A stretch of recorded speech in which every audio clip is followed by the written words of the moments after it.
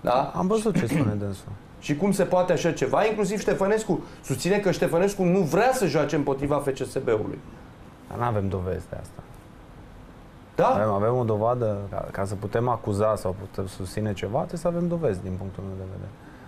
Practici de genul ăsta s-au mai văzut și în anii precedenți, au mai existat, să zic așa, mici transferuri sau mari transferuri înaintea meciurilor E, directe. și voi ați făcut uh, de-a lungul timpului. Da, au mai fost, au mai fost. Adică inclusiv Bălgrădean era celebrat poveste că Bălgrădean uh, uh, semnase deja cu voi, dar nu anunțase FCSB-ul, nu? Da, Cred că era ceva, o, o tactică de asta. deci asta. Și măsuri, nu știu dacă o să se poată lua în privința asta. Nu știu. Cum